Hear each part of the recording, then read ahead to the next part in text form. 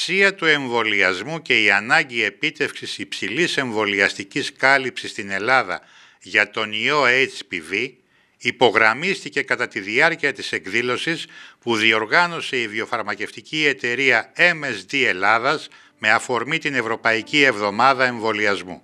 Η σημερινή εκδήλωση, η οποία διοργανώνεται από την MSD, έχει στόχο επευκαιρία της Ευρωπαϊκής Εβδομάδας Εμβολιασμών να τονιστεί όπως εναρμονισμένο αυτό με την ε, αντίληψη που έχει ο Παγκόσμιος Οργανισμός Υγείας, να τονιστεί η ανάγκη κάλυψης των εμβολιαστικών κενών που υπάρχουν. Στη χώρα μας πάει πολύ καλά ο παιδιατρικός εμβολιασμός, όμως τον HPV που αφορά εφήβους αλλά και στους ενήλικες υπάρχουν κάποια κενά. Σήμερα λοιπόν ε, στοχεύουμε να ενημερώσουμε για την ανάγκη κάλυψη αυτών των κενών εναντί του HPV.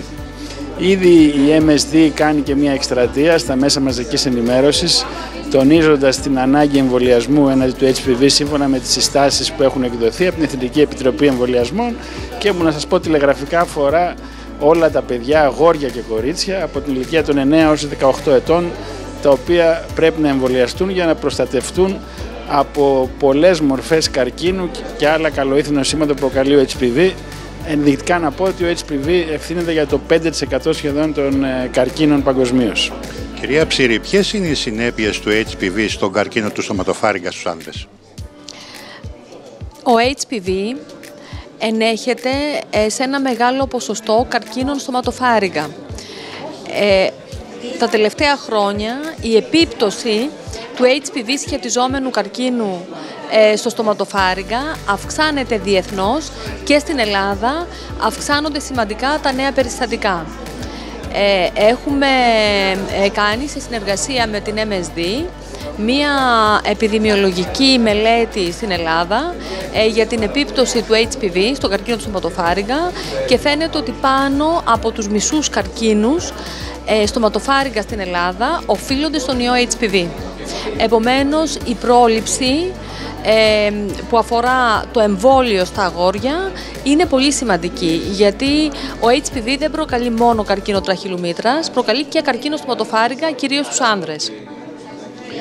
Πού οφείλεται ο καρκίνος του στοματοφάριγγα; Ο καρκίνος του στοματοφάριγγα οφείλεται στο κάπνισμα, όπως ε, και οι υπόλοιποι καρκίνοι της περιοχής κεφαλής και τραχύλου, του λάριγα, της σωματικής κοιλότητας.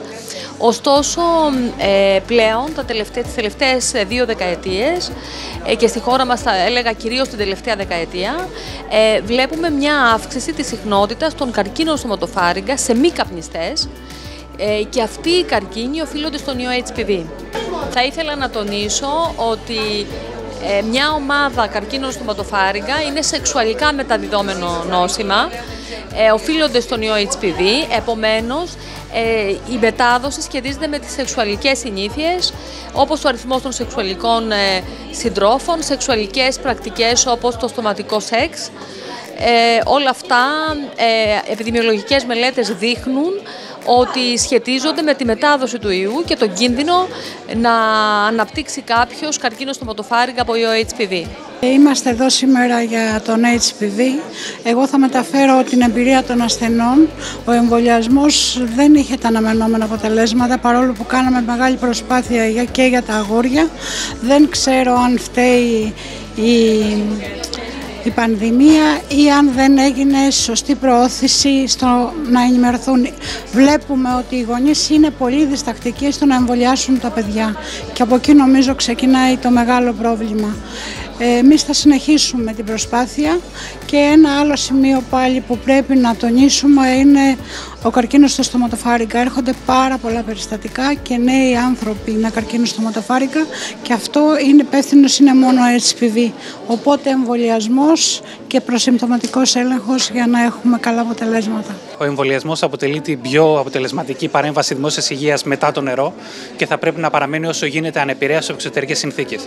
Δυστυχώς στην Ελλάδα παρατηρείται μια σημαντική μείωση στους εμβολιασμούς ρουτίνας, στον HPV ακόμα περισσότερο. Στο τέλος του 2022 το έλλειμμα του HPV εκτιμάται περίπου σε 20 με 30 κορίτσια. Αν δεν κλείσουμε αυτό το έλλειμμα, τότε αναμένουμε μια σημαντική αύξηση της νοστηρότητας και της νητότητας στα επόμενα έτη. Η επέκταση του catch-up που αποφάσισε η κυβέρνηση στην αρχή της εβδομάδας είναι σίγουρα Μια παρέμβαση η οποία θα έχει ένα πολύ θετικό αντίκτυπο στη δημόσια υγεία και τη χαιρετίζουμε. Ο ελευθεραπαγγελματίας παιδίατρος είναι στη μέση του εγχειρήματος εμβόλια. Τα εμβόλια νομίζω ότι δεν χρειάζεται να αποδείξουμε εμείς πλέον την αξία των εμβολίων και του εμβολιασμού και σώζονται εκατομμύρια ζωές κάθε χρόνο σε όλο τον πλανήτη. Ένα από αυτά τα σημαντικότερα εμβόλια είναι το εμβόλιο για τον HPV και χαιρόμαστε ιδιαίτερα διότι υπάρχει η απόφαση από το Υπουργείο και τη χαιρετίζουμε θετικά να παραταθεί ένα χρόνο ακόμα ε, η χορήγηση δωρεάν εμβολίου ε, στα, στα παιδιά τα οποία είναι ηλικία άνω των 15 ετών. Ε, θέλουμε να πιστεύουμε ότι με τη βοήθεια όλων θα προχωρήσει ο εμβολιασμός, ο οποίος είναι εξαιρετικά σημαντικός και έχει να κάνει με καρκίνο. Θα σωθούν ζωές, σώζονται ζωέ και γι' αυτό είμαστε σήμερα όλοι εδώ. Τα εμβόλια είναι μια παρέμβαση υπέρ των αδυνάτων. Άνθρωποι που δεν έχουν εύκολη πρόσβαση στους γιατρούς, στο σύστημα υγείας. Σκεφτείτε την Ελλάδα που έχει μεγάλη γεωγραφική κατάτμιση. Έχουμε πάρα πολλά νησιά, έχουμε ορεινές περιοχές. Σκεφτείτε ένα παιδί που παθαίνει με νικήτα σε ένα νησί. Πόσο, πόσο ώρες θα πάρει, πόσες μέρες θα πάρει να μεταφερθεί. Έτσι και το, και το οποίο θα πέθανε, θα μείνει παράλυτο. Με το εμβολιασμό προστατεύεται. Σκεφτείτε μια γιαγιά που παθαίνει πνευμονία σε ένα βουνό, σε ένα νησί. Με το εμβόλιο πνευμονιακό και γρήπης προστατεύεται. Άρα λοιπόν βοηθάει ειδικά ευάλωτες ομάδες στο να μην χρειαστούν ιατρική φροντίδα. Στα εμβόλια HPV να πούμε, σκεφτείτε ένα παιδί σε ένα νησί τώρα νέο άνθρωπο που παθαίνει κονδυλώματα, ας πούμε. Ούτε στην οικογένειά του δεν τολμάει να το πει. Όχι να έχει πρόσβαση σε γιατρό. Έτσι που από ό,τι δείχνουν τα πράγματα, εάν ο εμβολιασμός φτάσει σε, η κάλυψη φτάσει σε επίπεδα 90 και 95%, τα επόμενα χρόνια να μην χρειάζεται καθόλου να γίνεται έλεγχος προσυμπτωματικός. Δηλαδή η νόσος θα έχει γίνει μια σπάνια νόσος όταν λέμε ότι θα εξαλειφθεί ο καρκίνος σε 10, 20, 30 χρόνια σημαίνει θα είναι μια σπάνια νόσος με ένα-δύο περιστατικά και για μια σπάνια νόσο δεν κάνουμε προσυμπτωματικό έλεγχο όλου του πληθυσμού.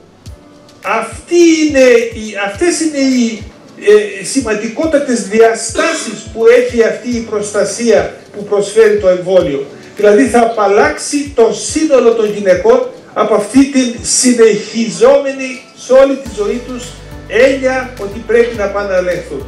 Άρα λοιπόν εμβολιασμός από την ηλικία των 9 ετών και μέχρι την ηλικία των 60 ετών θα έλεγα εγώ. Δεν υπάρχει καμία ηλικία στην οποία δεν έχει νόημα να γίνει εμβολιασμός.